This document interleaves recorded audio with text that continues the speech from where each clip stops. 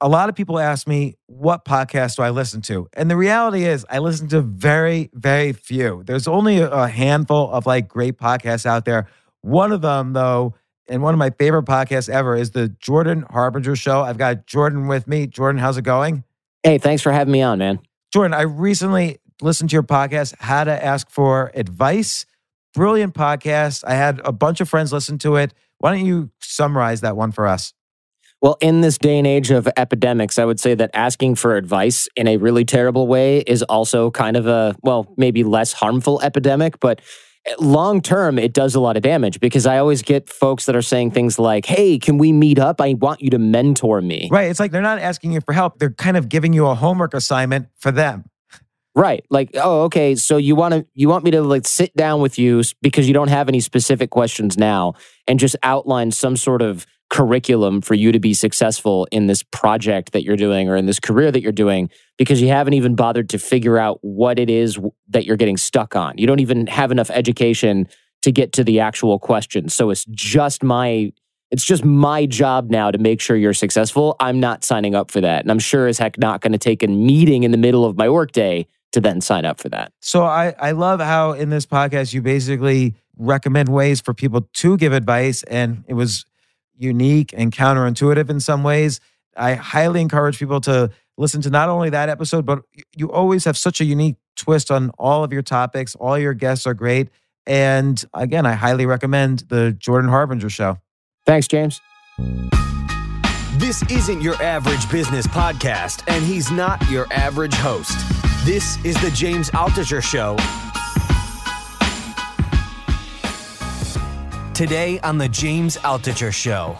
If I was going to put together a framework for how I should act during this lockdown, we don't know how long the lockdown's going to last. Like, I think the economy might reopen, but there still might be heavy social distancing, quarantining, mm-hmm. mini lockdowns, personal lockdowns, you know, self isolating. So while I'm home for this extended period, what are like the five things I can do to to really up my game, enhance my brain? Let's do it. Absolutely. So the master question I want everyone to ask is just as we begin with the end in mind is we are going to come out of this eventually. Nobody knows how long it's going to be, right? But what's the story you want to tell about this time? Mm. And we are writing that story every single moment with every single decision and choice that we're making right now. So if you fast forward to six months from now, a year from now, how are you going to tell people what this time was like? And so the the five things that I would focus on in terms of choice in no particular order is clarity.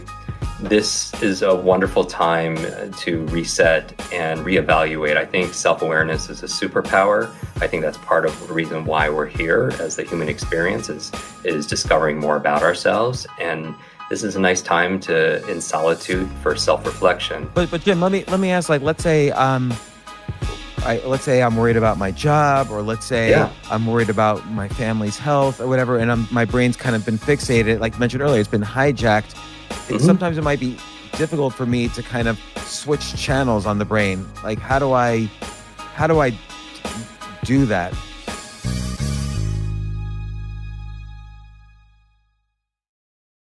third time on the podcast in the past six years. It's one of my first guests and now my latest guest, Jim Kwik, who is, I, I can't, Jim, first off, welcome to the podcast. Thank you. Thank you for having me back. Thank you, everyone who's listening. And Jim, I looked at the all the praise you got for your book. So your your book that um, is about to come out. We'll have you on again for the book, but the book that is about to come out is called Limitless. Uh, Jim, do you want to say what the subtitle is? I always forget yes, subtitles. It's, it's, all good.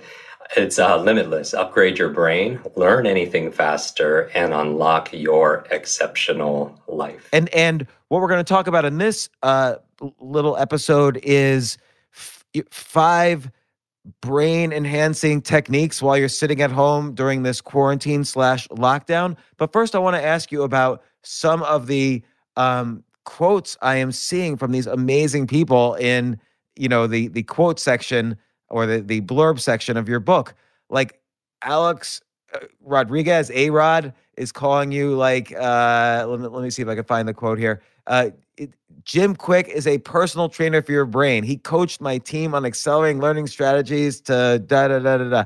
And then you have um Stan Lee, the one of the founders of all my favorite superheroes. He's the creator of all my favorite superheroes. He gives you huge praise. Steve Aoki, the amazing uh, DJ, when it comes to learning faster and keeping your mental game strong, Jim Kwik is the guy. Uh, you've got all these amazing quotes. How did you how did you get all these? How did that happen? Um, very, very, very um, honored to have worked with those individuals that you have mentioned. I'm a brain coach of sorts. I don't really know a label for what I do. It's my 28th year of teaching. You'd think I'd have this kind of dialed in. But as people, as singers have a voice coach, or um, entrepreneurs have a financial or marketing coach, athletes have personal trainers. I want to be a trainer or a coach for your brain. And what that means is really having becoming mentally fit and applying it towards learning faster, improving your memory, improving your focus, improving your, your critical thinking abilities, being able to read faster, and uh, everything that would fall into this category of these mental superpowers in the in the spirit of Stan Lee. It, it, it's it's so it's so interesting because, and we're going to talk about it a lot more in our in our podcast about your book, uh, Limitless. But uh, and by the way, I love the title. It, one of my favorite movies in the past 10 years was Limitless with Bradley Cooper. I've probably watched it five times. I wish there could be a limitless pill, but you, your your book is the pill, and you're going to describe these techniques. But uh, what I'm curious about, we're we're we're both doing this remotely, this podcast, and everybody's been in lockdown for a coronavirus. What do you do just before we get into all the stuff about your book? What do you do just to keep the brain sharp and and you know, I, I, you and I have similar philosophies. Like I sort of feel it, eh, the brain and creativity and and mental performance is is a muscle, and you have to exercise it, mm-hmm. and you have to exercise it correctly. Like if I just go down to the gym and lift weights, I'll probably end up in the hospital.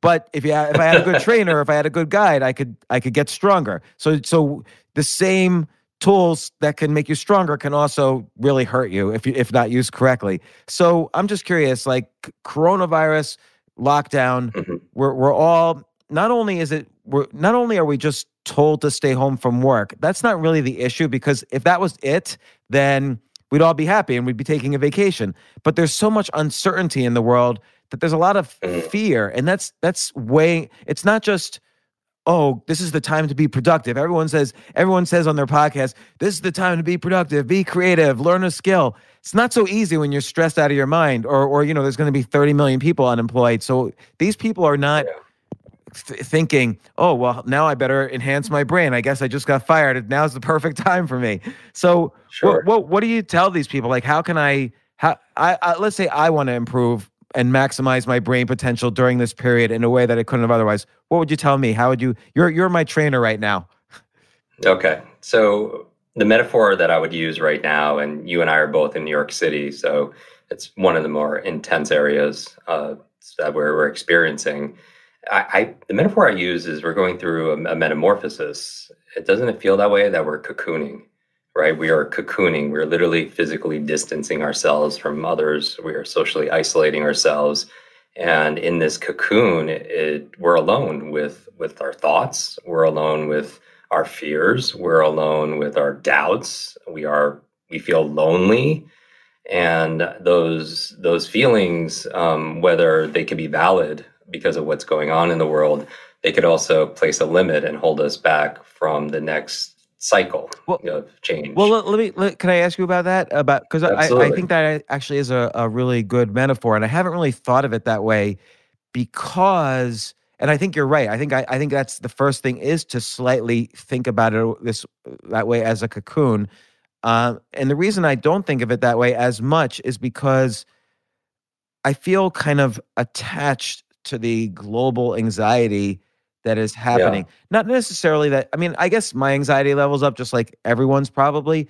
But like you say, being in New York City, being in the news flow, uh, I just feel it's hard to disconnect as much as I would like in order to do that rejuvenation. Yeah, and I would love people to be able to get there and be able to to be creative and uh, be able to uh, to contribute and and self care. But it's it's hard because we're always we're hearing about physical hygiene, washing your hands and sanitizing everything, but we're not hearing a lot about mental hygiene and the way the point. brain. Yeah, the, the way the brain is is set up, you know this, is just it's meant to to protect ourselves. So, so we have to pay attention to what's threatening because that's our that's our survival. And you know the mantra in media that if it bleeds, it leads. And one of the challenges is, and I see this in myself, and I see this people close to me, family and friends, that we could sometimes overindulge in in the media. And I'm not just not to say that we shouldn't be paying attention. Absolutely, the metaphor that I use is, uh, and I obviously use a lot of metaphors, uh, whether it's a butterfly or it's uh, in this case maybe a thermometer, a thermostat, where a thermometer it the functionality it reacts to the environment. And as human beings we naturally we do react to things. It's it's i don't even know how realistic it would be to not react to what's going on not react to the what's going on in the economy not react uh, to to the fear to the climate to everything. And i feel like the transition or we could spend a little bit more time identifying less with a thermometer reacting to things and more as a thermostat where a thermostat, it, it doesn't react to the environment, it gauges the environment so it knows what temperature it is. But then it always wants to, it could set the, it mm. could set a, a new temperature. And, you know, in this case, for people who are listening, you know, we could set still, we can still set goals, we can still set vision and make the environment more what's inside our imagination. You know, in the, in the book Limitless, it's not about being perfect, it's about progressing and advancing you know, especially beyond what we currently believe is possible. Well, so so so I like this metaphor of and this distinction between a thermometer and a thermostat because I think I and and I'm I'm speaking for myself, but maybe other people could relate is that everybody loathes uncertainty. We'd even rather have mm-hmm. bad news than uncertainty, and there's a lot of uh, behavioral science studies that demonstrate that that children will opt for a certain dollar, and you know, one dollar now versus two dollar an uncertain two dollars later, even if the expected value is greater than a dollar. And you know, in the stock market, you could see simply the fact that we don't know, you know, what the blah blah blah growth rate, contagion rate, mm-hmm. all these things about this coronavirus. If we knew those things, and if we knew, for instance, oh, people are going to die, but it's going to be like a flu. It's not going to be millions. It's going to be this. It's going to be that. If we had more certainty, even about bad news, I think the stock market would probably not have behaved the way it has and that's kind of a barometer of of the world psychology. So how do i how do i go about mm-hmm. i can't just think oh i'm going to set my thermostat. I have to set the thermostat. I have to do something. Yeah i mean i think this awareness first of having having a framework or a paradigm of looking at something is a nice a nice uh, first step is is being aware that there's a quote in the book. I, I quote a French philosopher that says, Life is the C between the B and the D. Life is the C between the B and the D. I love that. And they're thinking Jim is speaking in tongues and code. B stands for birth, D stands for the other side, yes. death, and C stands for choice. And it's a reminder that we have difficult times right now. They could they could diminish us, they could define us, or they could develop us. We we ultimately are going to decide. And these decisions, I mean, our life in a way is the sum total of all the choices we've made up to this point. And even though, you know, we didn't individually create, you know, what's going on, you know, uh, I don't think a victim mentality where we're just reacting is, is as useful. It's, it's not, for me, it's not about what's true. For me, it's these ideas in in the book, which I know we will talk about in, in another episode, I talk about lies. And a lie for me is a limited idea entertain, because obviously I have to iterate and acronyms everything to make it memorable. What's an example of a limited idea? A limited idea when it comes to to what I focus on in learning is something like we only use 10% of our brain, right? And that's propagated through, you know, movies such as the names of my my book and other other things where you're only using a small percentage because science is saying that we actually use actually well most of our brain like we use most of our body. Right. And so part of the book is about transcending. It's about ending the trance. It's about ending this mass hypnosis of things, these limiting beliefs or ideas that we picked up. And we weren't necessarily born with them. You know, for you, people who know my story or listen to prior episodes with you know that I had learning challenges and a traumatic brain injury and and these kind of things that I was labeled broken by a teacher, literally, and uh, that became my identity. But I wasn't born with that. It was, you know, those the the the things that bind us often are imprinted on us by other people's expectations, by our experience, by uh, our environment, and so a lie is not necessarily something that's uh, I'm not even thinking about as true or not true. It's something we give energy to, and we have certainty. And just like you say, the, the human brain needs certainty. People will stay in a relationship that's uncomfortable, but it's certain you know, and they won't change, or they'll stay at a certain level of health or finances or a job that they maybe don't love because the uncertainty of starting their own business and going out on their own um, is, is is threatened. You know, you're so you're so right. Like I think I think there's this constant grasp, this grasping for certainty, even when it might not be productive. So, for instance, everybody hanging on to the latest word of, you know, how many deaths are there? How, what's going mm-hmm. on in Italy now? How are the hospital? How, what's are, we have enough ventilators in New York? Like I think people are grasping onto any thing of certainty, and I think a key part of creativity and and learning is being able to live in um, a, a, a period of uncertainty, and and maybe that's the first step in setting the barometer is is to kind of step back from trying to find certainty. What would be a good way to do that? One one of the ways is first of all knowing that choice and decision, coming back to that power. You know, you mentioned Stan Lee, and uh, you know, you, I mentioned on a previous episode that Stan taught me an important lesson. And one time I was taking him out to dinner, and we're in the car, and I asked him who his favorite superhero was, and he said Iron Man. And uh, I was like, I was fascinated by that, and and he asked me, Jim, who's your favorite superhero? And I said Spider Man because he was wearing a Spider Man tie, and that's the one I grew up with.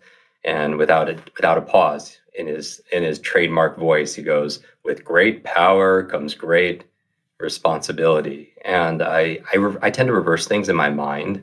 I don't know if it's because of my my traumatic brain injuries or something, but I. Uh, I, heard something different and I checked myself and I was like, Stan, you're right. With great power comes great responsibility. And the opposite is also true with great responsibility comes great power. When we take responsibility for our circumstances in life, it's like, you know, mm-hmm. whatever happened in the past, it's happened. There's nothing that we could do. But when we take responsibility for things right now, whether we are the cause or not, it gives us at least the autonomy and the agency to make things better. Because what's the what's what's the opposite of that is just having no influence, no control over our lives. And so, um, you know, I also think when we're talking about certainty, you could get it through small, simple steps. You don't have to make these big, dramatic changes because that's hard. Because the human brain, again, is re- is wired for survival. It's not really wired for growth.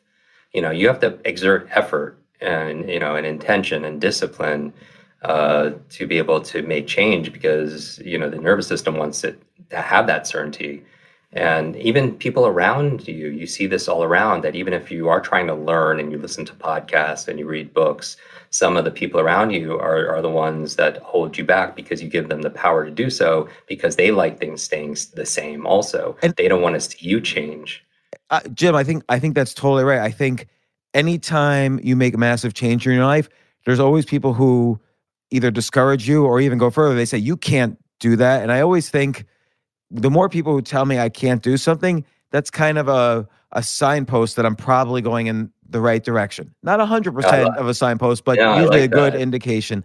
And and you make another point which is that intention is very important because again, if I want to change, I can't just um I can't just think to my you know a, a, a drug a drug addict can't just think to himself, that's it, I'm stopping they have to actually right. go to meetings or or have a, a, a, partner or sponsor or whatever. They have to actually do things and, and, move move environments, stop hanging out with the same people, and and so on. So and and you know you mentioned B.J. Fogg earlier. He's a great proponent of building he even wrote a book called Tiny Habits, which uh, Mhm. you know, if you want to learn how to floss your teeth, just start flossing one tooth and then build up. So okay, like if I want to Yeah. change now, if I want to kind of re- reduce my addiction to certainty in this horribly uncertain period, Yeah. what's what's the one one of the choices I can make, or what are some of the Yeah. choices I can make right now? Okay, so n- know that the, the brain is trying to preserve you and and it rather keep you certain rather than put you in a place that's unfamiliar because that is perceived as a threat. It's not a saber-toothed tiger, but we act as if. It's just like the conversations you and I have had about stand up. You know, I am a, you know, I speak in front of 200,000 people live every single year. But this idea of getting in front of a, a group of people in a club and and like do a set for like five or ten minutes, uh, that that gives me an uncertainty. And I can feel It's it. Terrifying.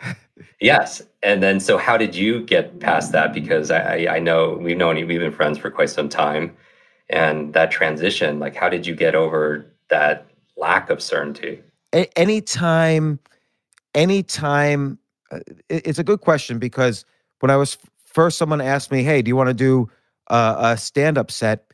I was terrified, and so again, that terror was a signpost for me because obviously, sta- going on a stage and standing in front of 40 or 50 strangers and doing comedy is not going to i'm not in the jungle being uh, chased by Right. lions nothing's going to happen in those five minutes. I'm going to be physically safe. I'm going to be even reputation safe because no one knows who i am. They're just a bunch of strangers or tourists or whatever.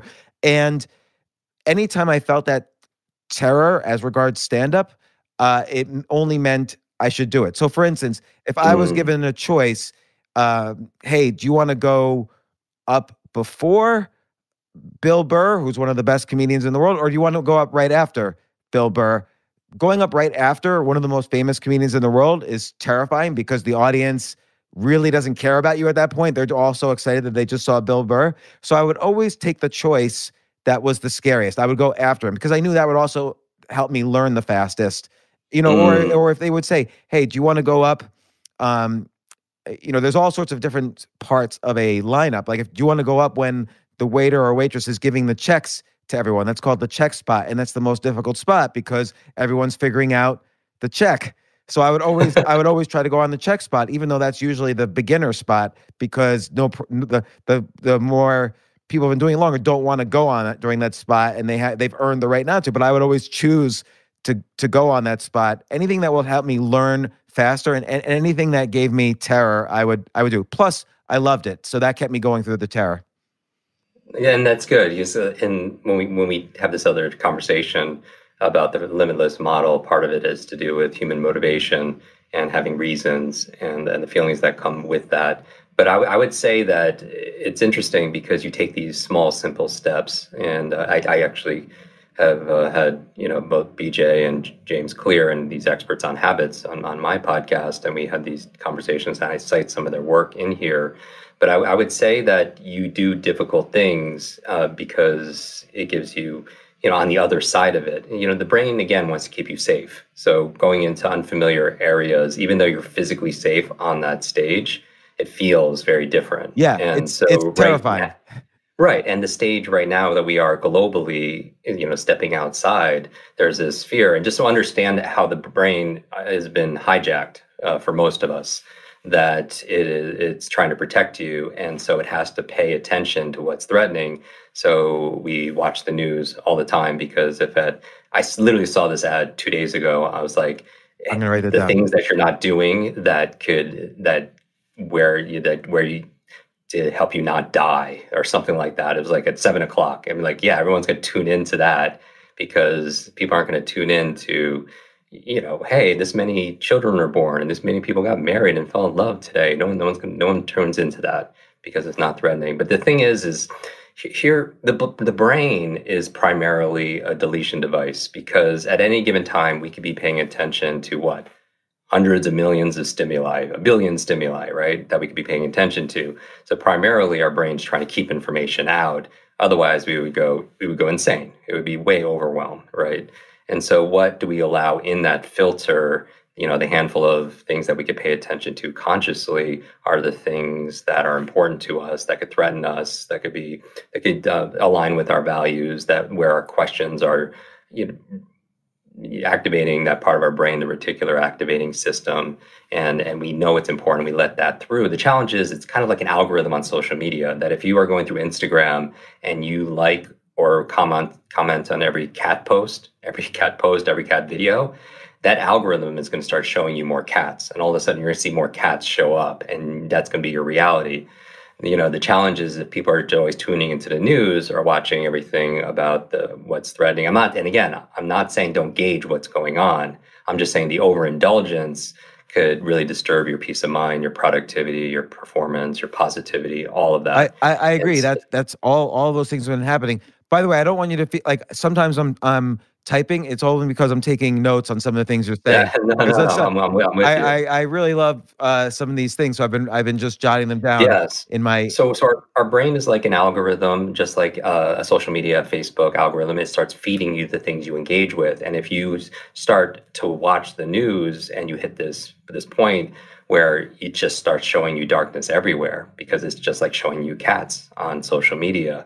And the challenge is is that's what you've chosen out of the billion stimuli to focus on and it puts you in this chronic stress or anxiety and that's not good for your brain. If we're if we're talking about being brain healthy you know chronic stress and anxiety shrinks your brain. We know right. chronic the fear it, it, it actually suppresses your immune system. I mean that that's an area of science called psychoneuro immunology, psychoneuroimmunology, where if you're always afraid, then it, it compromises your immune system. So you're more susceptible to colds and flus, you know, and viruses. And so that, that so the goal, goal here is never not to be perfect. It's just to to make progress and not to just lead a life where things are just happening and reacting to it. So if you're just watching the what's dark, you're deleting everything else right? And so that means you're not seeing the possibilities, you're not seeing the opportunities, you're not focusing on what you could be grateful for,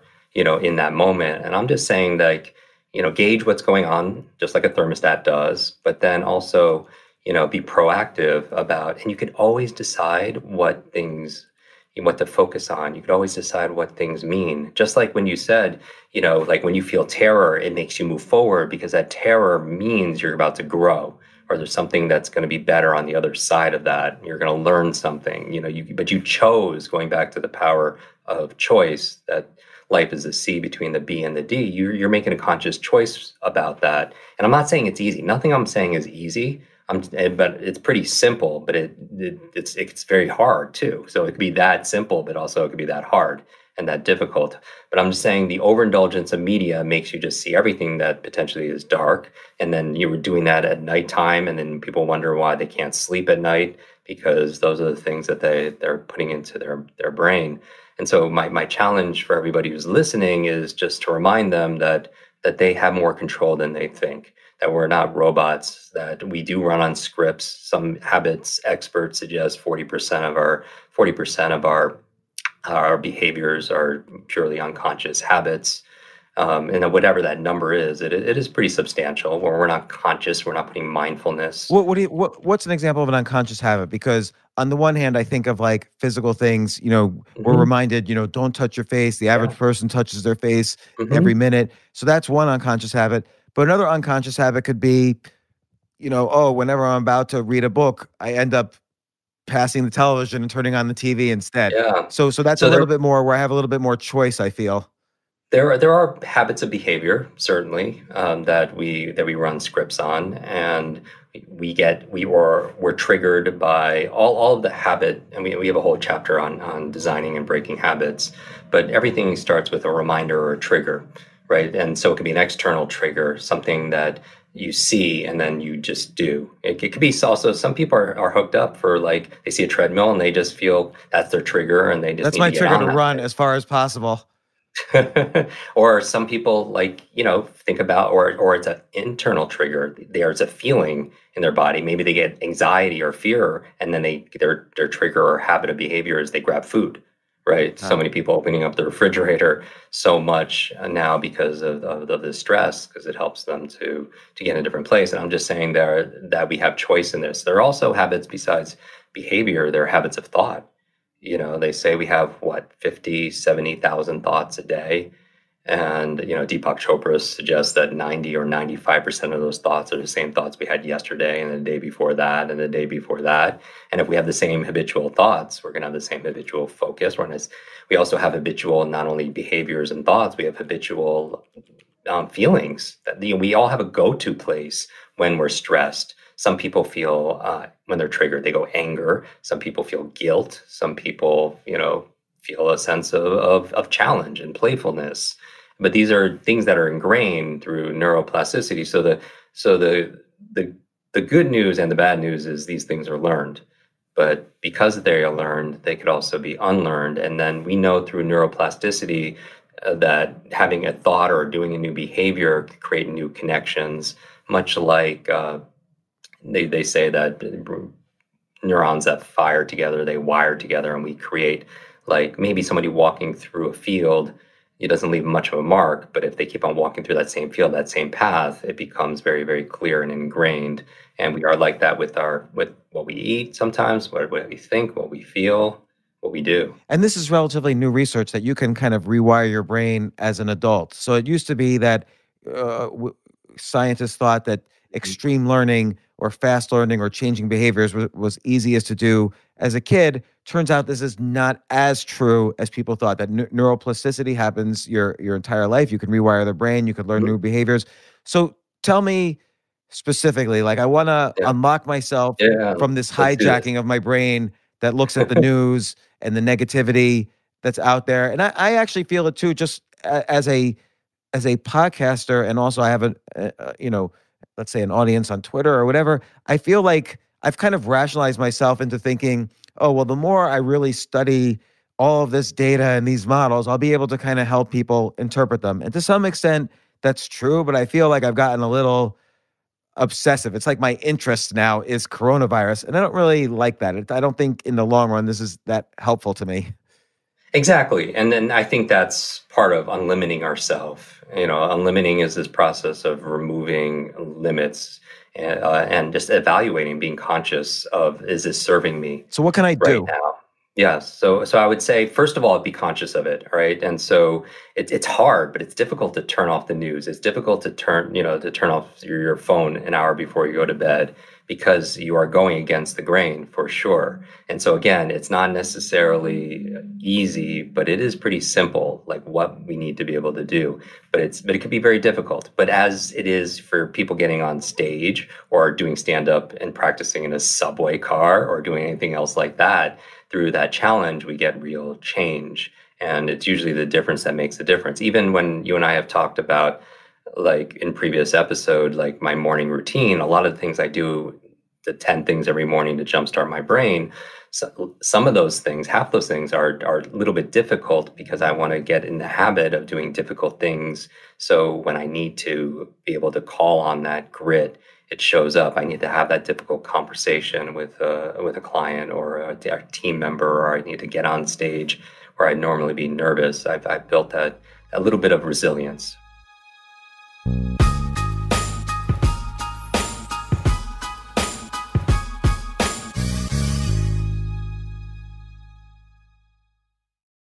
I love to recommend my favorite podcasts, and I have with me on the show one of my all-time favorite podcasters, Jordan Harbinger. Jordan, I love the Jordan Harbinger show, and thanks for coming on for a minute or two to talk about it.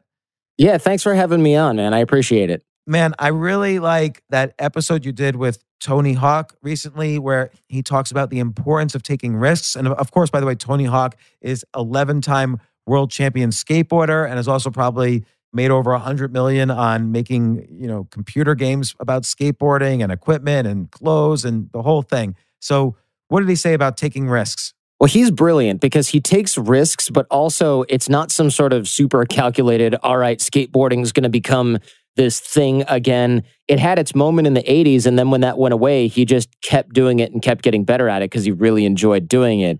And so that in itself was a risk, but it was kind of a risk to do something he loved. So he didn't see it at the time as a risk. And he came on the show and discussed a lot of this. And his financial success, eh, you know, involves an element of luck, but also involves him just sticking with something that he really enjoyed, figuring he would win just by sticking with something he enjoyed, even if it didn't make him rich. And it, funnily enough, very apropos today's news, one of the things that made him really angry, uh, and he talked about this story on the show, was that he had an agent one time, a product manager or something like that.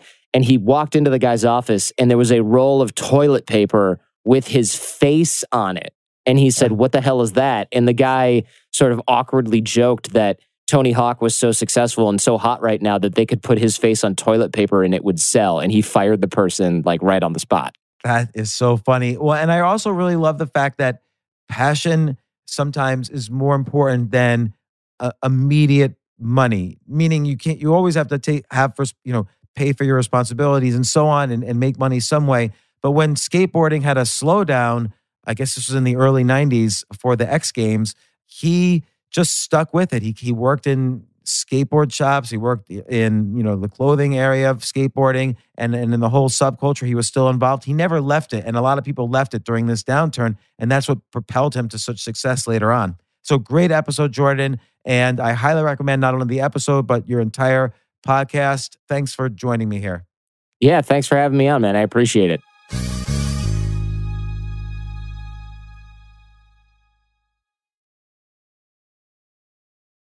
So now that you're locked in, you know, due to this quarantining and social distancing and everything, what are what are difficult things you've done during this crisis? Like, uh, you know, again, I, I, I'm, I'm guessing what you're saying is, you know, kind of remind you being aware don't look at the news as much disconnect your phone eh, you know yeah and that, those are all obvious and, and and here's the thing it's it's often those obvious things that and that are common sense that are not common practice you know the reason i wrote this book this book initially was all methodology things you and i have talked about in past episodes right. how to read three times faster how to remember names and languages facts figures everything but then i by the way myself, by the way that's one of the few pod, you, our two podcasts together i often have a hard time remembering you know many details from podcasts I did years ago, but I still to this day do the speed reading techniques. Not to not to skim. I read everything, but your techniques help in terms of learning and understanding and the memory techniques. I mean, right from our earliest episode, we talked about the memory palace, and I still use uh, aspects of that when I when I memorize things. They're they're extremely. Uh, I mean, it's it's based on on neuroscience, and it's also based on 28 years of just field testing this with children with learning challenges to seniors and so on. I lost my grandmother to Alzheimer's, so so keeping my brain healthy is just just a paramount. You know, and by the way, those incidences where I had my brain injury as a child, I lost my grandmother to Alzheimer's at the same, in around the same age. They imprint you and they put you on a path because these life conditions spark change, right? They, they move you in a direction, just like right now. I mean, a great question to ask ourselves. I was talking about the power of questions, about what to focus on is, um, you know, when you're having these habitual 50, 60,000 thoughts a day or whatever, are a lot of those thoughts are the questions we're asking ourselves. And there's certain questions we ask more than others.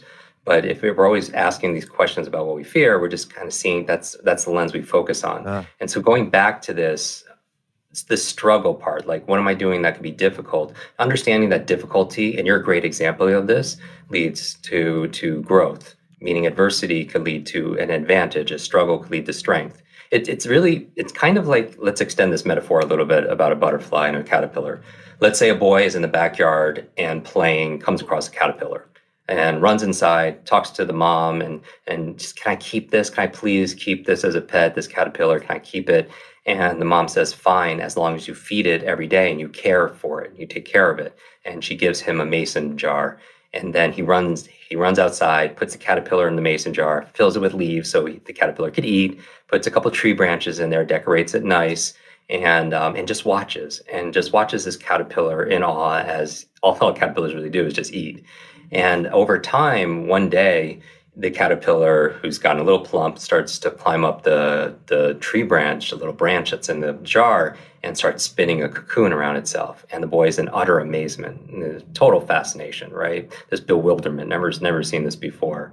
And the cocoon he's just waiting and waiting and waiting and watches it for for time and days. And and then one day though to surprise there's a little opening coming from you know within and the caterpillar makes this little little crack and, and it's trying to get out but it's having a hard time if, if you've ever seen this on video.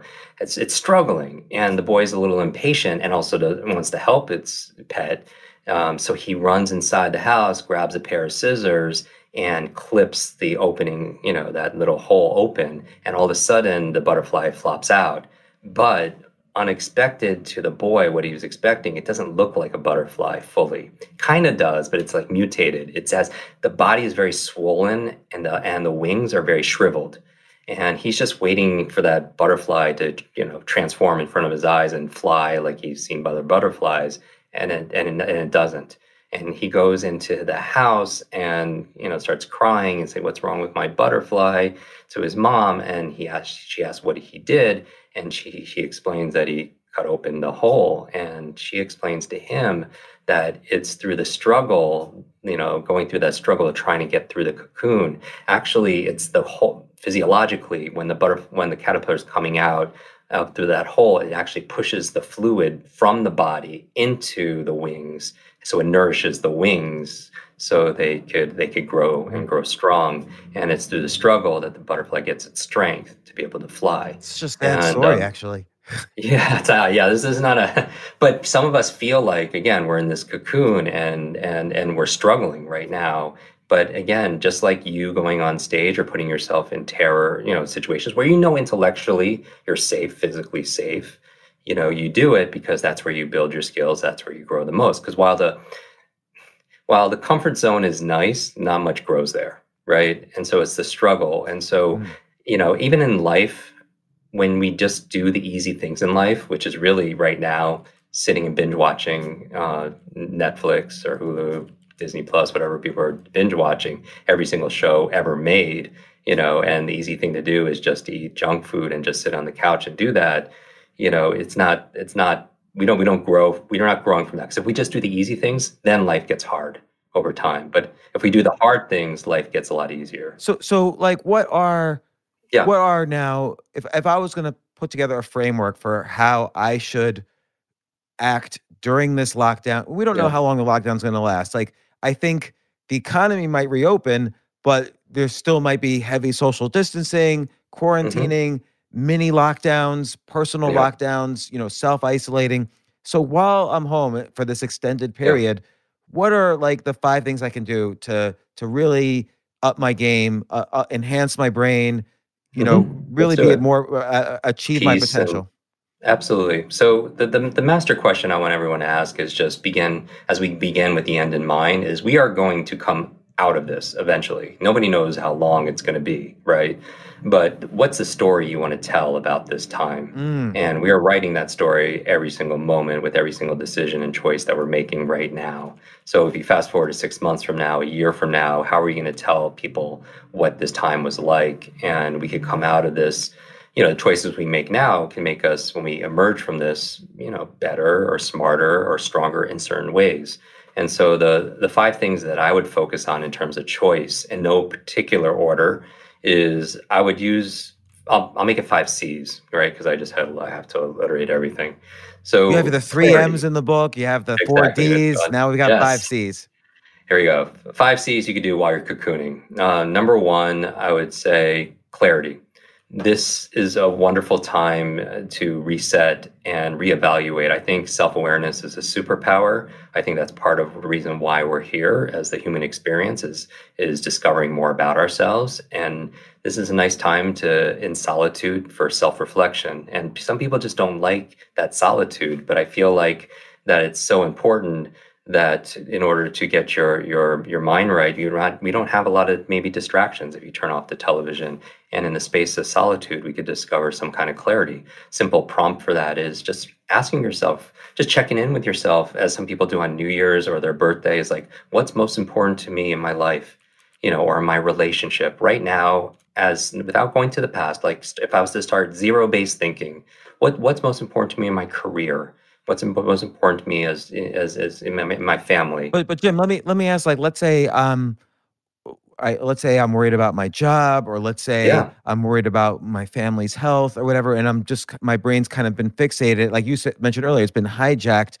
It, Mhm. sometimes it might be difficult for me to kind of switch channels on the brain. Like, how do I, how do I do that? Yeah. And, and I would start that you need a reason, first of all.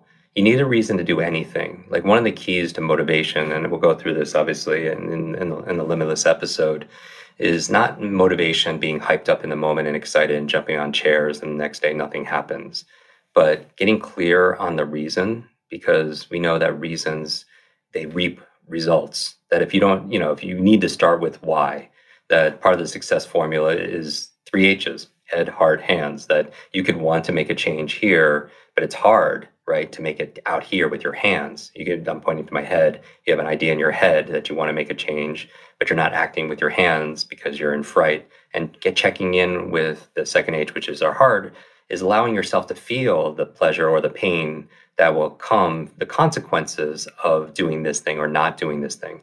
Meaning that if you you know what a wonderful time right now to clarify your life but having a reason to do that. If you don't have a reason to clarify your life we won't do it. If you don't have a reason to get on that stage you're not going to do it. If you don't have a reason to to work out you're not going to do it on a regular basis. So- it's always going to be forced. So, and I, I like this because it reminds me of um, Viktor Frankl's Man's Search for Meaning. This guy was in Auschwitz in a concentration camp, but managed to survive not only physically but emotionally because he asked himself these same questions. Uh, what was his, what was the meaning of his life? And he had different meanings throughout, but that it was a- asking that question. So, so to get clarity, it's kind of like let's say I'm I'm scared. I can say, hey, what?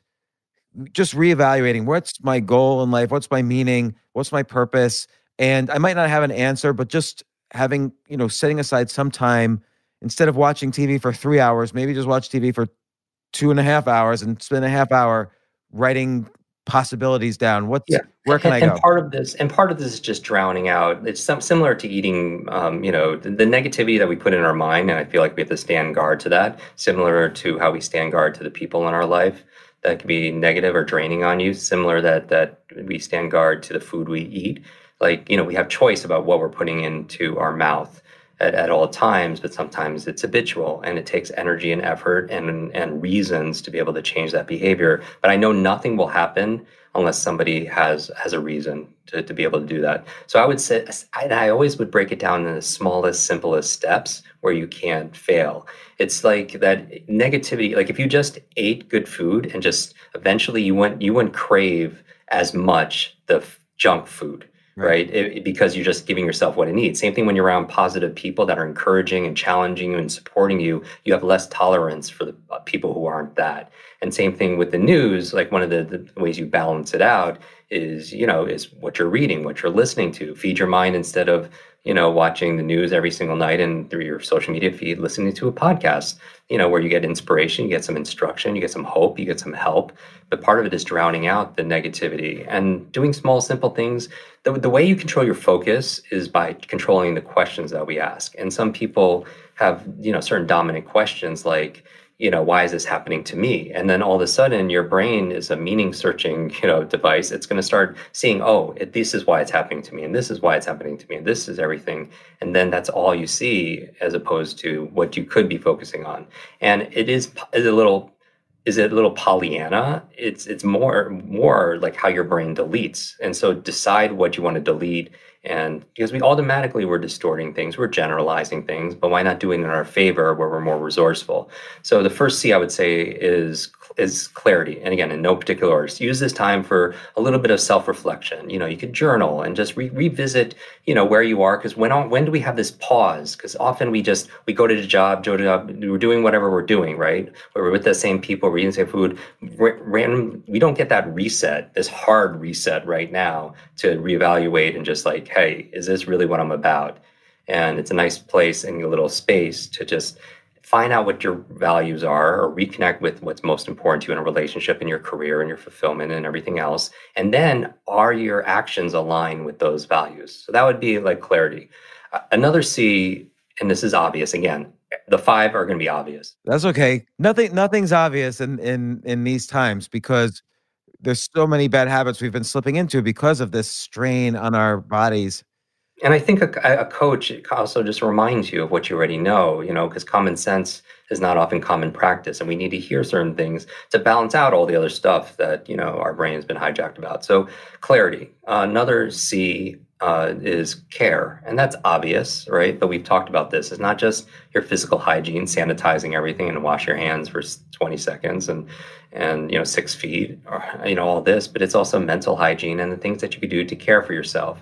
Because again, if you're if you're concerned, see, see, my my thing is where you're going to put your power and your attention. Like we can't control everything that's going on with the spread of this pandemic you know so we can't control that from an external standpoint. Um, we can control how we could, but we can we can't control even how the government you know and their health care but we can control as much as we can our own personal health care we can't control the economy necessarily but we can control our own personal finances and, and economy. And com- coming back to that what can you do to just take care of your immune system the self-care? How you know what are you choosing to eat every single day as part of self-care? Part of self-care is also supplementing in vitamin c which is good for your immune system. Part of self-care is prioritizing your sleep because i i know this is going to have a big i mean talking about mental health all the anxiety and then the level of sleeplessness right now but it, it's hard. It's hard to go to bed sure. you know at, at the same time and not just watch the news until two o'clock in the morning um, and so, but prioritizing it because it's coming back to motivation is just like not only the pleasure you'll get out of having a better life, meaning more productivity, performance, peace of mind, prosperity. You know that that's obvious, right? If you want your business to grow, you need you need to be able to grow and take care of yourself. But it's also the the the allow yourself to feel the pain. Like if you don't do this, what's the consequence then?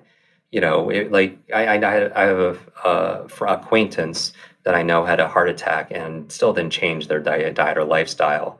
You know, but when the daughter came to him and said, you know, like cried to him, and basic, and he wanted he made the change in his lifestyle because he wanted to walk his daughter down the aisle. So let, me, let me ask you with with care, what's um what's a mental uh, hygiene thing someone can do?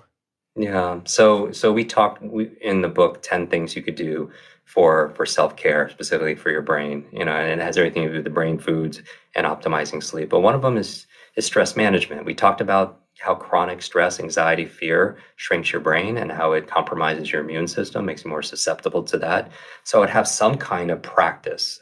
And people go to meditation or they go to whatever they go whatever helps them to get in that parasympathetic state that rest that digest that recovery you know even taking you know 20 minutes off and just like having white space and going for a walk and being creative whatever whatever.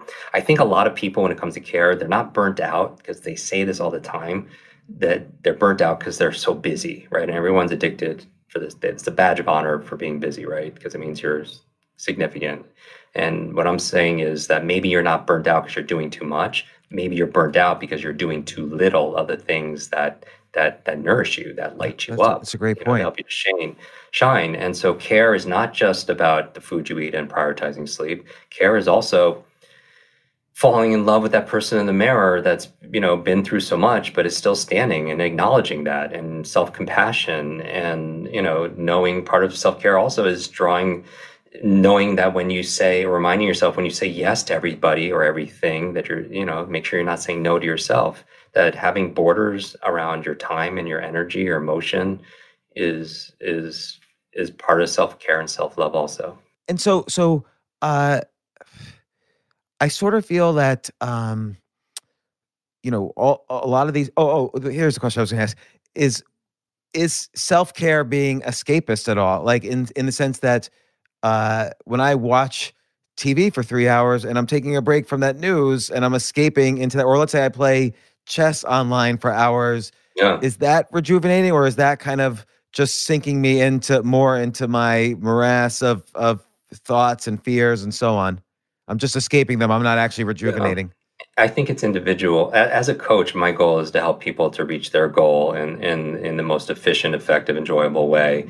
And so if I have no problem with people binge watching that or playing games and video games and doing that, if that are intention, if their intention behind it is entertainment. I, I see the I see complete value out of that. It's just whatever your outcome is, it's just you can't complain about my my my thing is excuses and com- people complaining about. Um, you can't be upset by the results you didn't get by the work you didn't do. So my thing is that, like that, play video games or, or binge watch. If that if that's your thing and you want to rejuvenate and you want to distract yourself, use it in, with intention. But I'm saying, you know, we not everybody. If we're real here, not everybody has the same network connections. Not everybody has the same income. Not everybody has the same education. But we all have 24 hours in a day.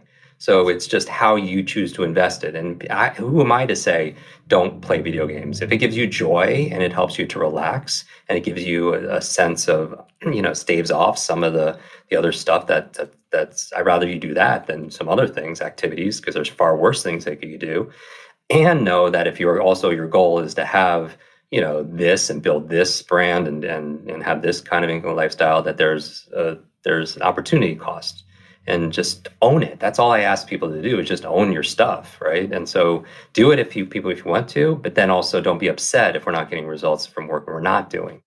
I'm talking about clarity on your life, what's important to you, caring for yourself. And I'm not saying spend 24/7 self-care because that that could be selfish because there are other things. These are just one thing you can do. It's just reminding yourself take care of yourself because some people tend to, you know, be there for everybody else, put themselves last, mm. you know, and these little choices add up. It's the consistency of all this because little by little, a little adds up to a lot because consistency compounds. So I'm just saying you don't have to do all of this. Just just one little thing puts you in a different direction consistently, right? And you can make it just like Dr. BJ Fogg from Stanford talks about small little steps. You know, read. You don't have to read 45 minutes a day. Read one line a day. You know, but I, I don't that. think a lot of people are going to stop there. I think a lot of people go within the next sentence, next sentence. So you have clarity. You have caring. I would also say another C is contribution because I feel like that's part of why we're here is not just to receive, but also to contribute. And people might say, well, I don't have a lot to contribute. It doesn't have to be just your money, you know, that could be part of your treasure, but it's also your talent. It's also your time. Like all these amazing people who are flying here to New York and they're on the front lines of this, you know, using their expertise to, to make things better. But it could, doesn't have to be anything vast. It could be just checking in on your neighbor that lives down the hallway right? Or, or an elderly, but contribute. It's hard to feel fear and feel a sense of service and giving at the same time. Mm. You know, even when I had to get over my fear of speaking because, you know, I had the broken brain, I would I would get so upset if I had to get a book report. Like I would go sick in my stomach. And, you know, I was so scared of getting the spotlight because my superpower growing up as a kid was shrinking, was being invisible because when you don't feel like you have a lot to offer. But for me to get over that now and being in front of audiences, even having this conversation, knowing how people all around the world is watching it, as I think about service, I think about the one person who's listening to this that needs to hear something in this conversation, and that that gets me over my fear. I can't I can't feel fear and gratitude or giving at the same time. You know, so how can you? That's such a great point. I actually even write about that in in uh, my book, uh, Choose Yourself, is that mm-hmm. is that when you get into that state where you're helping somebody, and I've been I've been trying to do that during this period. Like we went to, you know, there's odd volunteer jobs right now. For instance, you can go to a shelter or a food line, and it's not that you don't have to necessarily. Uh, help with serving the food. You know what they need help with? They need help keeping everybody six feet apart on the line yeah. because homeless shelters are getting shut down um, yeah. for not keeping six feet people people six feet apart. So there's all these odd volunteer jobs. The other thing about giving and money is that you don't have to give a lot. So there's a lot of GoFundMe's for employees, for instance, who have been laid off by restaurants and bars, and maybe the restaurants and bars that you frequent a lot in your neighborhood. And I've been just going to those GoFundMe's, and if you give ten dollars, it's not going to yeah. break the bank, but you'll feel like you did something for for these people who you've who are part of your life. And, and, and I, I think that, yeah, no, I, I'm I'm a small business owner in in the city. You know, I own a, a bar slash comedy club, so I hear a lot about the employees um, in the different restaurants in town, and I I always contribute to the GoFundmes no matter what.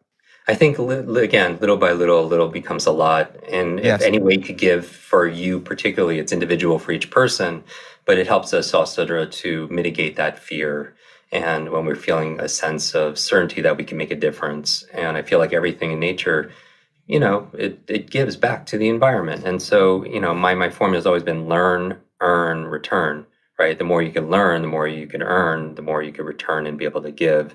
And so for Man, us, I and love these you- quotes, these letter, these Yeah. acronyms, and these. a what lot do you of, call lot it? of, lot, lot of Twitter, Twitter uh, Kwikisms. Uh, uh, um, th- there's there's a phrase for it when the when the back half of the word is the same sound on every word. I forgot what that is. Uh, So these devices, whether they're acronyms or these little mnemonic things that rhyme or whatever, it's just these little like you know things, these little brain bites that that stick with people. But yeah, I but it. I don't I don't want to dilute the power behind it. Also, like I make it memorable for people so they could re, repost it and they're you know like people will post it like oh I love this and they'll tag both of us after this conversation. I challenge people to do that. But going back to contribution is contribute in your own way. There's no one's writing this like you choose. Like for us on Facebook and Instagram, we are doing lives for kids. And because all the schools are shut down globally and so i'm teaching them the one thing they didn't learn in school which is learning how to learn. And i'm just going on every couple of weeks and just doing office hours and i'm doing big group people tuning in on instagram live facebook live and i'm just teaching them how to focus how to study how to how to read faster how to do those things. We're doing one you know coming up for recession proofing your brain. Absolutely free with no with no agenda. It's just our unique way of contributing. You know, I, I even created you know, during this time a 10 day program, uh, basics of speed reading, memory, reverse negative self talk to give to everybody who pre orders the book because it just, it'll help them to read the book, you know, and it'll just empower people. So, how can you contribute in a meaningful way for you? So, that's the third C. So, we have clarity, we have care, we have contribution. And then the two that you already mentioned, I, I would say that, you know, that sometimes that we hear something enough, you know, then eventually it sticks. But this is also a time, you know, that we could use as productive time. You know, we could use this to create. And I don't know if this is true or not, but you see these memes online that that during the plague Shakespeare was, you know, physically distancing himself. And I say physical distancing because it's just like you and I are being social right now. So it's not like we you know, you could be social through FaceTime and Zoom and phone calls and stuff like that, but we are physically distancing ourselves for for the reasons that of what's going on in the world. But he was um, Shakespeare was physically distancing himself, and during that time, you know, he had this surge, this personal renaissance, where he was able to, what was it, King Lear, Macbeth, Antony Cleopatra. You know, he was very creative, and so you know, using this time, and who knows what it's how long it's going to be, but how how great would it be to go back and revisit that that script you were writing, or that that video, or or that art, or however you personally express yourself again. It's it's it's such a great point because again, I feel we've been kind of locked into this hourly news cycle. And again, for me, I've sort of rationalized it by saying, okay, Mhm. I have a background in, you know, data, science, statistics, computer science, and I also because of this podcast, I've talked to leaders in almost every industry, so I Mhm. have a good skill set of interpreting data and kind of communicating it. Again, I have that skill set from the writing and podcasting and so on, and communicating it in such a way that it's understandable, it's not um, hysterical uh, like a lot of the news is, because I'm not trying to capture eyes. So, so I'm rationalizing it by saying I'm providing a contribution, but there's also, you know, I don't think I've done enough of the the self care part while I've been, uh, you know, thinking so much about this. Exactly, and, and and that could be your thing though. Like so, like it's not even like judging, and you could do as long as you know that you have intention, and so you don't have any kind of regret, and you're doing it with purpose. So I have no problem with people who are, are looking at everything, trying to get all the facts together, so they're using it more than just as a way just to indulge. You know what I mean? And cycle down, Yeah. like in, in places. And so if you're, you're able to use that and be able to use it to make help make decisions, you have a huge platform. And if you're utilizing that that wisdom, the accumulated knowledge and distinctions, that that that that's wonderful. And again, I, I I'm not the judge. Like people could do whatever they want with their whatever is most important to them for clarity, whatever they're going to do for care, whatever they're creative, however they're going to uniquely contribute. I'm just saying we have these time. Most people say they don't have time. Well, most people now have a little bit more time. And so they could, this could be the most productive period of your life. Maybe someone during this time comes up with something that really does put a dent in the universe.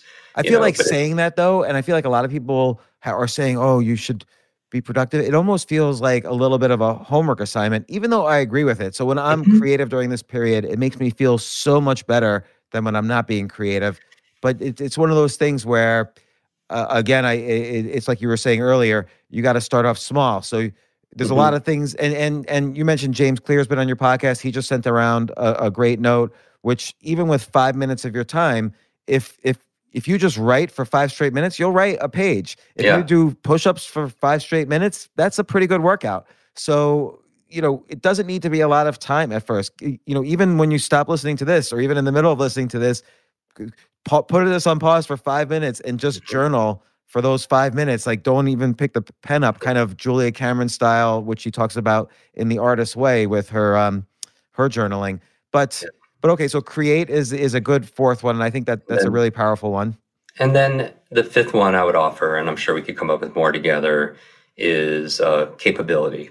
And this is the skill development. You know, we've always said that, hey, when I have some time, I'm going to learn this language, or I'm going to learn how to code, or I'm, I'm going to learn how to be able to do whatever. And now we have unfeathered access to all the information online through podcasts like yours, through books, and Great. And now There's a lot of great online uh, schools Exactly. like Coursera or Teachable Exactly, whatever. exactly. And so now is a wonderful time to be able to level up your learning. And again, I I I, under, I feel what you're saying that you know we, we're hearing everyone saying let's be productive. Let's and then part of the reason you do that also is so you're not doing something else, right? So you're not doing the stuff that we know is is in serving our greater good or anybody else. And so capabilities is you know you have your to-do list but maybe you start started to learn list and you mm-hmm. revisit that and what's what and you know what the key to these five things are is just when you mention like it's time right? Because time and attention is what life is made out of. And so what i would say is start small right? I call it S3, small simple steps and schedule it. And if you just do that you know start small with your self-care and just schedule when you're going to do that five minutes of you know calisthenics or, or, or, or rebounding, you know what I mean? Or a little bit of CrossFit, whatever. Start small and then just schedule it. Schedule, you know, your creative time. Hey, I'm going to read just for this th- these five minutes a day. That's it. Small, simple step, and then you do it. And the habit that you're building is the habit of showing up for yourself, you know, consistently over and over again. You know, schedule time for being creative. And it doesn't have to be a lot of time. Just like you said, hey, I'm going to write for just five minutes and it's so so we don't have to make it daunting. And and i know when we talk about the limitless model that's a big part because it's about one of the myths and the lies in the mindset area besides 10% of your brain and intelligence is fixed you know or you know these kind of lies is that knowledge is power. And we've talked about this that knowledge that all the podcasts and books and courses none of it works unless we work.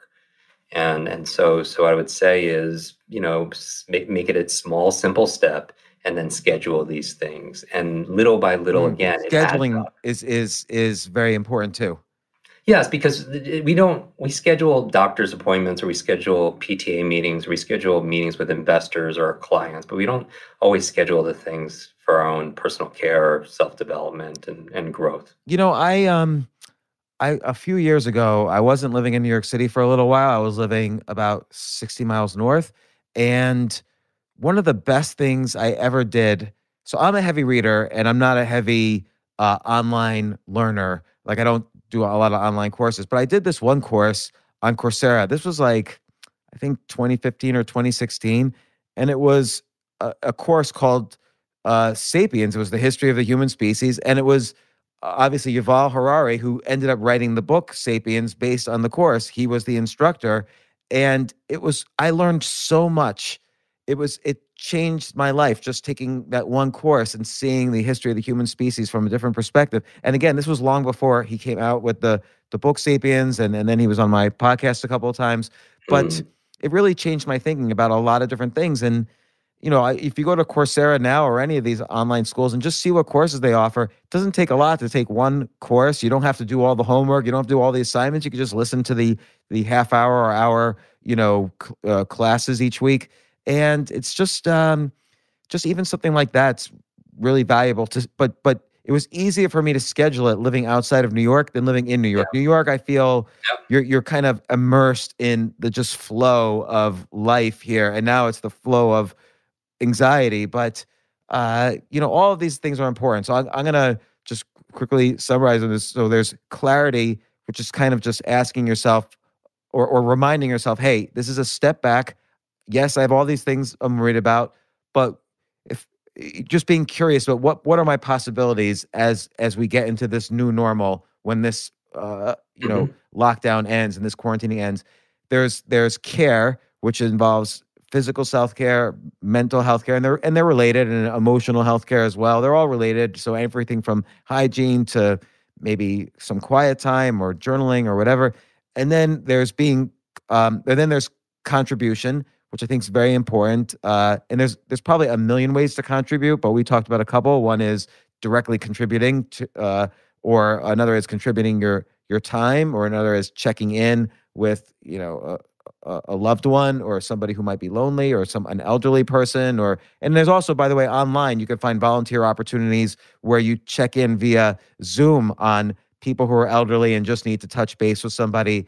Or there's also um, there's lots. If you search for coronavirus volunteer opportunities, there are a lot of uh, things that come up. Then you talked about being creative. So either again journal or maybe take out a crayon and just just draw a little bit or I don't know. What are some other ways someone could be uh, creative? Go to go to Teespring and and make a T-shirt and and sell it, or do something. What are some other creative things? Yeah, I mean, I think the future belongs a lot to the creative creators and creatives because Absolutely. you know where jobs you're going to machines and automation and artificial intelligence. I think what makes us innately human and valuable in society is, you know, I talk about limitless. What's what's unlimited, the unlimited resource we have on planet Earth is is the human mind, is human potential. There's no limit to creativity. There's no limit to imagination. There's I no think people limit- think there is a limit, though. Yeah, I, and I think that would be a lie. And so, like, and here's the thing: it's not about what's true or what's not true. It's what it, it's what serves you. Like these decisions that we make, these these things, ideas, whether they're a lie that were an idea that we're entertaining or something else. I feel like that, you know, it helps to have a global idea on something that gives me more possibilities and potential. Because I think most people fall short of of hitting things that they don't want to achieve. Eh, But but you know it, it- it's interesting because there's a like I'm not going to be, and maybe this is a self-limiting belief, but I'm not going to be as good a painter as say Vincent Van Gogh. So so there might be ways in which skill is limited, but in terms of being creative, I can sit down and try to paint like Vincent Van Gogh anyway. Nothing can stop me from doing that. It's not like I'm going to make 40 million dollars doing it, but I I I I'm allowed to do whatever I want. Yeah, and I, and I think that that that belief that that's more empowering than what the opposite because what, what what's the opposite that we have no potential to be able to and you know when it comes to creativity there are infinite possibilities right in terms of what you how you express yourself and the people that even innovate they're asking those different questions about it- it- we could go into this in another conversation but creativity is just how what how you want to be able to express yourself and knowing that there's there's always a, a third and a fourth and, and many different ways Yeah, I think I right. You're you're right. Creativity is a, a subject entirely on its own, but it's interesting because there's there's something called there's a cognitive bias called the Dunning Kruger effect, which is a nice way of or, or a scientific way of saying, um, uh, you know, a little knowledge could be a, a harmful thing. I forget what the actual expression is, but you know what it, what this bias is is if you start to do something and you get excited about it, you usually think you're better than you are. So, for instance young drivers often think they're a nine out of ten drivers think they're they're above average, which is impossible. Only four out of ten are, and uh, you know, but it's important to. Uh, I think there's a, a useful side to Dunning Kruger bias, which is the first time you sit down to write a novel, you're probably not going to write the best novel on the planet. But if you th- if you think you're good, if you're excited about your your growth, that'll keep you going through that period of rejection and frustration and and self-doubt and so on. So when I started doing stand up, I would say it took probably a couple years before I could really handle myself in a professional room. But I had Dunning Kruger bias. So I thought I was brilliant right in the beginning. And that kept me going through those first, let's say, three years, even where I, I wasn't really at the potential I wanted, but I didn't quite knew, know that. I only knew that on certain days, not on every day. And uh, uh, it kept me going. Yeah, and I hear exactly what you're saying. For me, again, it's not right or wrong. It's it's what's serving you, and and your intention and your your outcome. And so what what what is empowering you in that moment and what's what's not. And so for me, I, I choose to believe that that everybody could express themselves and be creative, and that there's a, there's always a way. Whether that's true or not, who knows? But I choose to believe it because I'll act accordingly, and hopefully I'll err more on getting more results than if I had the opposite belief. Well, well, and it also helps like in in in the field of creativity in any field you're pursuing. So there's one hand where it's just putting your mind to creative use, mm-hmm. and mm-hmm. there's uh, lots of ways to do that. But in a specific field, if you're creative, you're you're also trying to find your own unique voice. Uh, what what how can I? I don't want to draw like Vincent Van Gogh. I want to draw like how I would draw if I had great skills as an artist Mm-hmm. But now anybody can pick up a crayon and draw, so that's that's creative no matter what. But then we your, your fifth C was capability and learning a skill. And here's a, gr- a great time to kind of combine. Uh, um, you're you're ultimately going to have confidence not by telling yourself to be confident, but by getting good at something. And then you're confident that hey, I'm better at this than most other people. And it's not that hard to be better than most people. It's just it, people don't realize this. It just takes a little bit of work to be in the top 1% of almost any field. Now, it doesn't mean you're in the top 100 people in the world, but the top 1%, like let's say you played, you know, golf, probably and I and I don't play golf at all. So I'm I'm I'm I might not know what I'm talking about, but it probably to be in the top 1%, I only need a handicap of 10 or 20 to be in the top 1% of all humans in the world at golf and and so it doesn't take a lot to to experience that exponential learning curve and feel good about skills that you're learning and and where you are in in, in rank and so on. I, I agree. And i in psychology they have this competence confidence loop that the more competent you get at something the more confident you have uh, confidence. And because you're confident you're going to do that thing more which should make you even more competent which totally true your confidence sure. And i and i whether it's stand up or it's golf or anything you'll notice with these five c's i always as a, as a coach like I, I don't treat everybody the same. I'm saying self-care the way you self-care you know get clarity on your own life your own values contribute in your own unique way use your talents to be able to do something in your situation create however you create not how anybody else does and capabilities learn is something. So i i, I keep it open-ended. Structured all you know all i ask is hey you know if you're having trouble getting some traction with this break it down into something small and not intimidating that requires a little effort and energy where you can't fail and you could show up or at least you know get over this fear of you know i'll do i'll do the stand up i'll say that publicly right now with you. I'll, I'll, i always tell people to try something at least three times. You know try it once to try to you know mitigate the fear of it. Try it again to just you know kind of get the groove and maybe learn it a little bit. Try it again the third time to see if you like it or not. Because maybe, you know, part of finding your passion is creating it and just giving yourself stimulus and novelty and see where your, you know, your heart goes. And because uh, you don't want, you could, you could, I think people could do a lot of things, but they can't do everything. And so even whether it's but it's, it's child- a great point though. People can do a lot of things. You don't have to pick a lane and only stick to that oh, lane. Oh yeah. Oh yeah. And it's funny because uh, three and a half weeks ago, I was in the Netherlands and I was actually performing and touring all over the Netherlands, hit five different cities in seven wow. days, and did stand up. Maybe the last international touring comedian in history, depending on these travel bans. Because the day after I came back, uh, there all the lockdowns and travel bans mm-hmm. started, mm. and so I actually haven't done any stand up now in almost a month. Where and the last one I did was in Rotterdam, and you know, it was very exciting, huge crowd, everything. And it's been a, a weird shift, but I've been dusting off. A lot of people have been asking me during this period, oh, what investment opportunities are out there? Because I have a background in that as well. And I've written a bunch of books on that. So I've been dusting off that skill set while relaxing a little bit the stand-up skill set, even though I'm I'm missing it now. Yeah, and with technology today, do you see when we're saying how you could contribute or create or anything is like we're having this conversation using technology. You know, stand up clubs don't have to be limited to four walls. Neither do classrooms, and and so we could you need you could you I would love I would, I would tune into an Instagram live or you doing stand up. That'd be amazing. And yeah, so maybe I'll try that. I don't I don't know. That sounds terrifying. so we'll we'll see. I got, my, you know what the thing is now though is you I have to everybody every comedian has to write new material. I feel because the only topic at the moment is coronavirus. Yeah.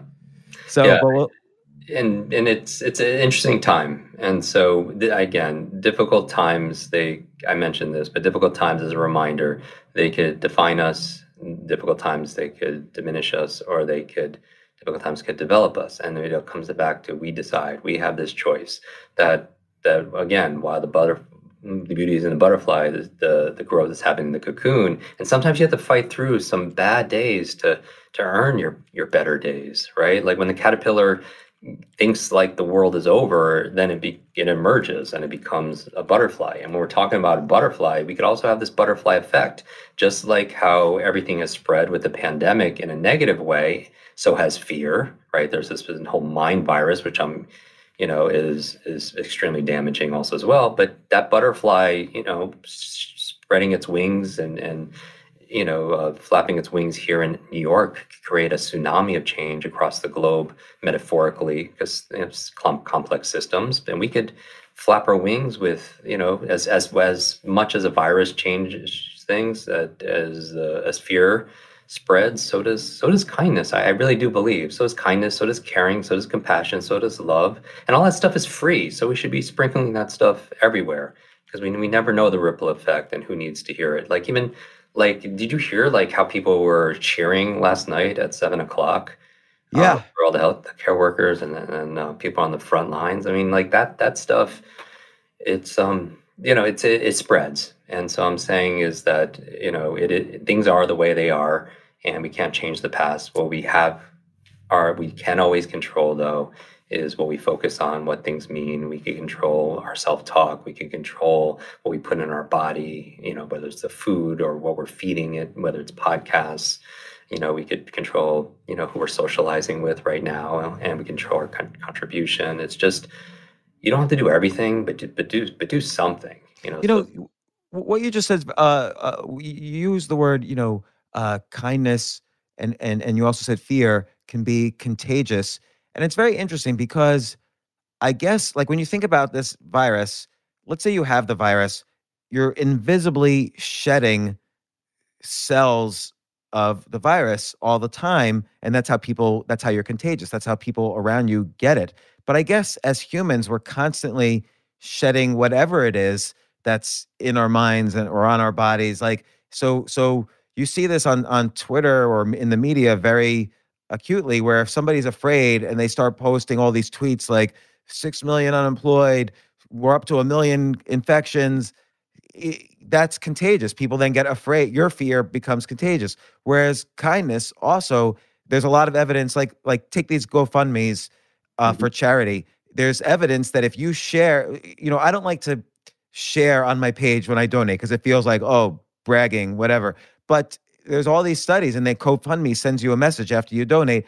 People are three times more likely to make a contribution if they see one of their friends uh, has contributed. So that's why people are encouraged to actually share. So because it is, like you say, kindness is contagious. It's almost a a sixth C. Make sure whatever you do, you're you're you're not afraid that it's going to be contagious. I'm saying what we do matters, and and people are watching, and you know who's who's counting us on us to come out of this, you know, better, so we can be able to better serve them, whether it's our customers, whether it's our families, whether it's our friends, you know, because if you're struggling right now, my heart goes out to you. I wish you nothing but strength and security and health, whatever it is you need the most, and and know that people are watching, and that you inspire people with your grit, you inspire people with your with your grace. And um, and yeah, it's not life is is certainly not not not easy. It's been we go through these challenging times, but I would say that, and you've heard me say this before, but I'll use the cocoon as an example. That life is like a cocoon. That if a cocoon is broken by an outside force, you know, then life ends. But if it's broken by an inside force, life begins. You know, this could be a political philosophy though too, because look at you know, we've taken so much direction from the government during this past month, and now we're getting um, the stimulus package, which I was in favor of, but it could be argued that hey, if we if we depend too much on stimulus to get our second lives going, you know, our new normal going once this ends, then that's not going to be so good personally, even though it, it might be a buffer, it might be a band aid societally. It's not the cure. And then, and maybe what it is is that it stimulates because I people are in need, and it allows them, you know, gives them some breathing room to to build something, and you know, and to create something and position themselves in a way. But um, and so my my my message here this whole time is that we take responsibility. You know, that responsibility will give you give you more options. It'll give you more power to make things better. And because as that life comes out of that cocoon or life comes out of that egg, you know, is that we have greatness. I really do believe we have, you know, amazing things inside of us. And that's why I'm so passionate about this, these kind of conversations, you know, and I want to thank you for, for, for bringing these messages of, of, you know, eh, practical things because people need hope. They need, they need help right now. And, and it's a bit, in my opinion, it's a better alternative to feed your brain with these kind of conversations, you know, with, with these Absolutely. Kind of books and podcasts, you know, and, and just having some kind of a balance. You know, and so, balance is a loaded word, but choose. So let me let me ask you. Uh, so so by the way, just to summarize the the five C's, which I really believe in, uh, clarity, which which I would describe as you know set aside time so you can ask yourself what your possibilities are, as opposed to just being afraid all day or watching news all day or whatever it is you're doing that's making you unhappy. So clarity, uh, uh, care, contribution, create and and capability, which is you know go, feel the pleasure of getting on a learning curve, which always feels good. It kind of triggers that that dopamine when you learn a new skill, and that skill could be anything. Like my my daughter, she's been watching breakdancing videos and while during this period and learning how to breakdance. So or or there's lot there's plenty of things out there. It's just you have to, like you said, schedule the time to do it. Let me ask you this, Jim. During during this period, has there been a moment where you just like something was frustrating to you or you were disappointed in something or you got scared where you just kind of broke down a little bit? Um, I mean, certainly again, like I'm not I'm not perfect, nor do I profess to be. You know, I lean into the stuff I teach because it's what works for me and and clients that some of them you've read in the beginning of this of this episode. Um, challenging time. Like my, my, my fear goes to just family, you know, their health and their well-being, you know, and so I, I have, um, aging parents I care for dearly, you know, you know, and, uh, and are very susceptible. So my, my fears go there. And so I'm human like anybody else. You know, I've been launching this book. I, I waited 28 years to come out with this book. So it's interesting time for the book to be released because I had 20 speaking engagements in front of, let's see, almost 50,000 people cumulative, and that was a big way that I was going to share this book. Um, and that totally got hijacked. Every single one of them was canceled. So that was just not, I didn't cheer when that happened, but I centered myself and I thought, okay, I can't control this. What do I have control over? You know, and so then I focus mm. on that because it's just not productive because I get no points for just, you know, ruminating on all the things that could have been you know one way because i can't i can't change it and so i just feel like it's a waste of energy it's a waste of time you know shame on me. And also i want to be an example for people around me. So i just you know i pick myself up and i just say okay if i have to start over completely you know that a lot of planning and team and energy and effort went into putting those together. You know what can i do now? And ask myself creative questions like hey how can i reach as many people you know doing something virtually? And that's when i do like these these live streams and focus on podcasts and and be more creative. And you know even though i'm limited quote unquote and getting on a plane and going places and you know some doing some traditional media because they're all reporting on this so that was that wasn't you know the best news ever but um you know but again this is life and we yeah. just try to we make the we I mean we could see we could wish it's something different but i'd rather people see it the way it is and then do what they can to make it the way they want it to be. And so part of that limitless process, you know, I also had the option of moving this book launch to the fall but I, you know, I told everyone that no, we're going to launch it now because this is more than a book on speed reading, learning languages, and remembering people's names. This is about mastering your mind. This is about regaining your focus and productivity when you're home. This is a, about helping your kids and being productive mm. and focused, you know, um, and doing the things you need to be able to do and overcoming these perceived limits. And so I feel like when people get this book or they gift this book, they're giving people permission to get their power back You know, it's an extension of this of this conversation. And so I'm I'm on a mission. This you know this since we first met. Like I grew up with as the boy with a broken brain. So my mission is to build better, brighter brains, to leave no brain left behind, no brain left behind. And so I'll do it in any way, whether it's a podcast or a book or you know a video or you know anything. I just want people's brain because this controls everything. Because you get your you, you upgrade people upgrade their phones and their apps more than they upgrade their brain. If you get oh, your brain that's so true if you get your brain right your mind will follow. You know your mindset will follow your attitude will follow. And that, that that's my passion and my my passion is learning I feel like your passion is what lights you up. It could be stand up. It could be, and it's not limited to one thing, right? I don't think we're predestined for one passion. I think you give yourself enough stimulus and novelty and see where your, your heart goes, your mind goes when it wanders. And then, you know, what light, that's what lights you up. And your purpose is what lights other people up. So my passion is learning and my purpose is teaching people how to learn. I think and Jim, I want to, um, I want to emphasize that we're going to be talking about your book, uh, you know, so your book's coming out right now. The the the launch date is supposed to be April 28th. Uh, we'll we'll see what Amazon does, what your publisher does, and so on. But we're going to be talking about the book, and it's it's such a fascinating book. We're going to be talking about it in the next podcast that we do, which will come out in a couple weeks, closer to your book's time. This podcast focuses on uh, the five ways you can enhance your brain during this lockdown or quarantine.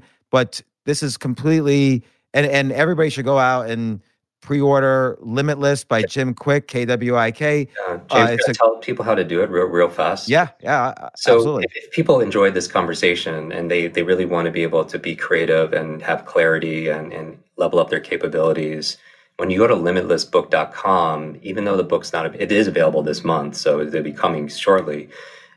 I created this 10 day program to, to becoming limitless. And so, for those of you who want a small, simple step, for the whatever $18 on Amazon or Barnes and Noble or whatever the book is, I gift you a 10 day program to coach you through this process of mindset and overcoming procrastination and doing the things so that when you get the book, you're going to read the book. And then I created a four week book club based on the four sections of the book. So after you receive it, we're going to do video and do a week on every single chapter, on every single section. So I show you how to remember it and apply it. And that's my, that's my Dharma, which is in my mission. So limitlessbook.com. And I would challenge everyone actually to screenshot this episode because one of the fastest ways to actually, again, put your attention on somebody else is to share and teach. And so I, w- I would challenge everybody to screenshot this episode, tag James, tag myself on social media. Um, I'm at Jim Kwik and share your just one thing you got out of this. Whether what out of those five C's, what are you going to put some attention to that maybe you haven't mm-hmm. shined a light there yet? Or one aha moment you got here. And that way you're sharing it with somebody else and maybe they see it and they feel inspired to listen to this episode or, or take your advice. And um, I'll actually send a galley. I have a handful of galleys left. I'll actually send, uh, I'll repost a couple of my favorites and I'll send a, a signed galley to uh, to one person just as a thank you for listening to this episode. So and and Jim, thanks so much for for coming on today and helping us all kind of deal with this sort of this an event that never happened before in history, really, where the entire globe just sort of uh, is is essentially shut in at the moment. And on the positive side, we're all moving towards this goal of eliminating this virus, but it's a very difficult time. And and you really provided a lot of great advice about how not to be addicted to the misery of it or the anxiety of it, and how you can actually instead move forward uh, as a result of this time.